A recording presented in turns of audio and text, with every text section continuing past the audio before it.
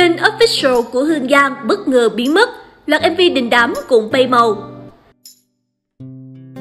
Là một trong những ngôi sao giải trí đình đám của showbiz Việt hiện tại, Hương Giang cũng sở hữu kênh YouTube riêng có lượng người theo dõi khổng lồ.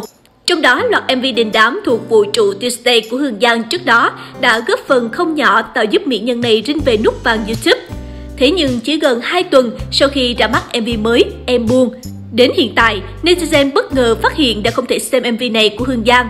Mặt khác, không chỉ MV Em Buông mà kênh YouTube của Hương Giang cũng hoàn toàn không còn tìm thấy.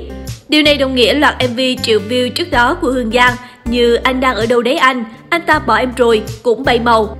Hương Giang và ekip hiện vẫn chưa lên tiếng cho biết lý do vì sao đánh mất kênh YouTube. Song khi trả lời bình luận của một fan bên trang cá nhân thì Hương Giang vẫn tiết lộ mình đang cố gắng xử lý sự cố này. Trước đó vào năm 2020, Hương Giang đã nhận được nút vàng YouTube sau khi kênh chính thức chạm mốc 1 triệu lượt sub. Cũng từ đó, hiệu ứng của các MV drama xoay quanh chuyện tình ái rối rắm đã làm nên thương hiệu vũ trụ Tuesday cho các sản phẩm âm nhạc của Hương Giang.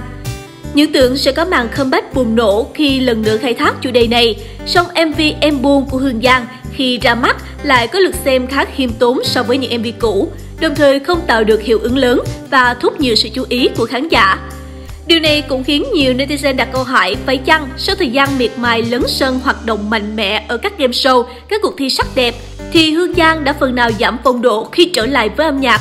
Câu hỏi này có lẽ chỉ có thể đợi đến MV tiếp theo của Hương Giang sau khi em buông còn cái kết bỏ ngỏ để trả lời liệu đây chỉ là sự xuống phong độ nhất thời hay thực sự Hương Giang cùng ekip đã không còn đủ sự sáng tạo để níu chân khán giả.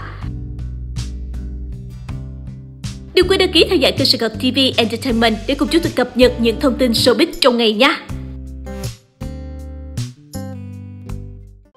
Gửi ngày tin nóng cho Sài Gòn TV qua hotline 0909 660 550 để có cơ hội gia tăng thu nhập nha.